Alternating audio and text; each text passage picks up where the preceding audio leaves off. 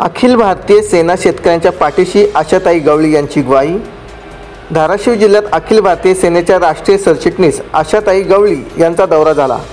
धाराशिव जिल्ह्यात अनेक दिवसांपासून पक्षाचे कामकाज बंद होते. म्हणून नव्याने पक्षाचा विस्तार करण्यासाठी अखिल भारतीय सेनेच्या राष्ट्रीय सरचिटणीस आशाताई गवळी यांनी दौरा केला असून धाराशिव तालुक्यातील बेंबळी लासोना समुद्रवाणी येथे शाखांचे उद्घाटन मोठ्या थाटात करण्यात आले.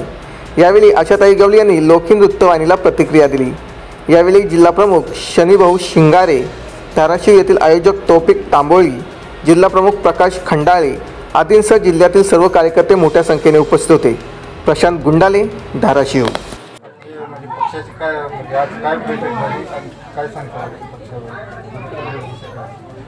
आज तर जास्त करून शाखाचे उद्घाटन.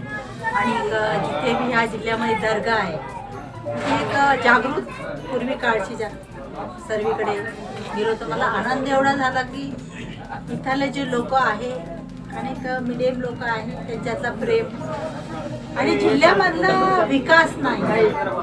जास्त बघायला गेलं ना जिल्ह्यातला विकास नाहीये. तरुण मुलं आहे. तरुण मुलांना रोजगारी पाहिजे म्हणून सरकाराने सरकारने इथे मला वाटतं भरपूर काय उपलब्ध करून द्यायला पाहिजे. त्यांच्या नोकरीसाठी धंद्यासाठी. आणि कुठे कुठे दुष्काळ भाग आहे कुठे कुठे चांगली शेती आहे. शेती असली तरी मी आताच जे दोन दिवसाची गोष्ट अकस्मात जो गाराचा पाऊस पडला वारं पाऊस सर्व मग ह्या गावात जे चिखली गावात भरपूर नुकसान झालं.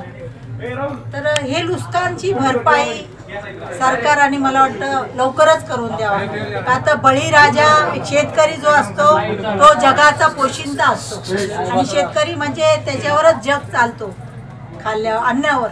तर ह्याच्यामध्ये न जास्त वेळ लावता मला वाटतं यांना जास्त जास्त लवकर तातडीने त्यांची भरपाई नुकसान करून द्यायला पाहिजे. आणि क- एवढ्या मुलांना तर पाहिले इथली एकता पाहिली. इथे जो मंदिर मस्जिद जे आता मी पाहिलं ना त्याच्यामुळे तर मला इतका आनंद झाला का? लोकांमधला एकोपा लोकांमधला प्रेम जर असला ना तो विकास होणार हमखास होणार. हेच सध्या गारपीट झालेली आहे उस्मानाबाद जिल्ह्यामध्ये. तर अधिकारी काही संपावर आहेत. सध्या म्हणजे शेतात पंचनामा करण्यासाठी कोणीही फिरकले नाही. त्याबाबत आपल्या पक्षाच्या वतीने काय आव्हान असतं प्रशासनाला सरकार. आमच्या पक्षाच्या बाबतीत तर मी इथले जे आता जिल्हाध्यक्ष आहे मुलं आहे तर आम्ही आमचे निवेदन देऊया. निवेदननी नाही तर आंदोलन करायला लागेल मग. यांच्या मागणीसाठी आंदोलन करायलाच पाहिजे. का इथले अधिकार अधिकारी आहेत त्यांना काही पडलीच नाहीये.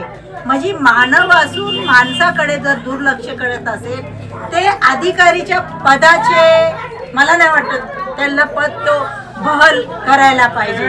पद असा पाहिजे का तो पदाची जबाबदारी सांभाळतो सांभाळतो जबाबदारी घेतो आणि लोकांना संपर्क साधून त्यांच्या आडी अडचणी सोडवतो. तर ह्या लवकरात लवकर नाही घेतलं तर याचा पुढचा पाऊल आम्ही लवकरच